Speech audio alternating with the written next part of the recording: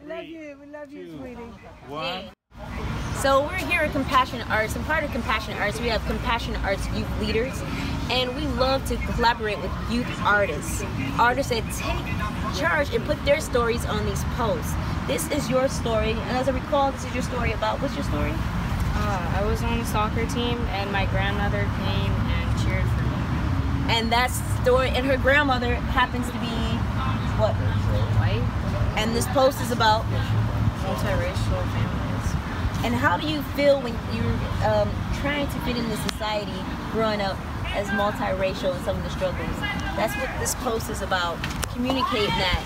And what's the scenario specifically?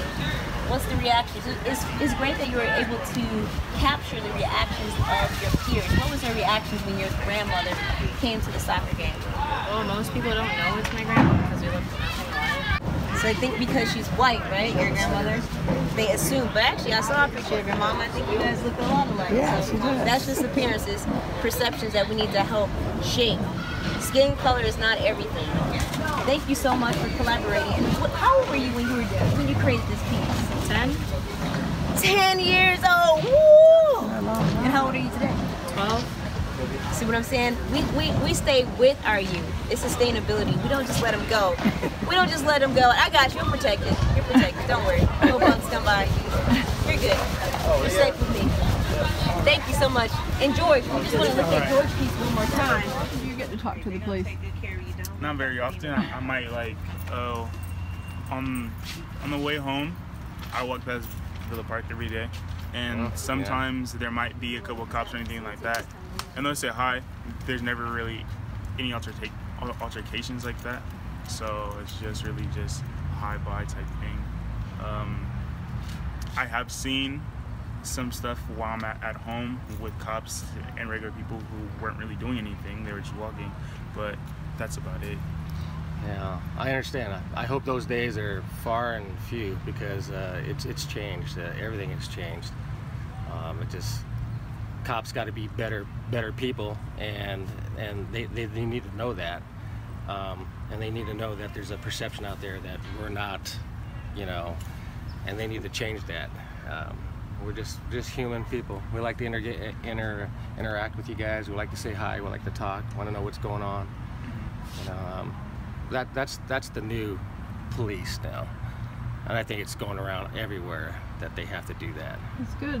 You know, and uh, I've I've seen it a lot. I grew up in Pasadena, born and raised in Pasadena, work in Pasadena, have a business in Pasadena, so I have a vested interest in making sure that uh, the community stay stay active, stay vocal, And stay safe. stay Yeah. safe. You have any suggestions that might help?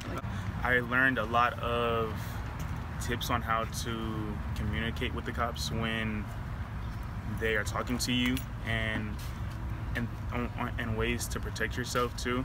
So I remember um, Faye was um, a cop and she kept directing me away from my friend, but it was that I wasn't doing anything wrong and that I wasn't being detained and I wasn't under arrest that I can just leave and things like that. So it, it's little things like that that I feel like young people need to know so that they can keep themselves safe.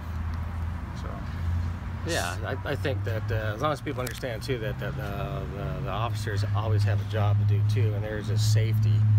So if they're engaging with somebody that may be doing something wrong, they don't want somebody else to interfere or get hurt or, or get in the way.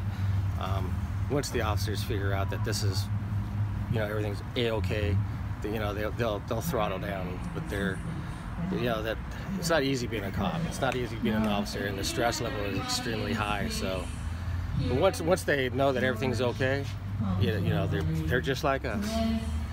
You know, they, they want to engage and, and talk to you guys too. So, but they want to keep everything safe first.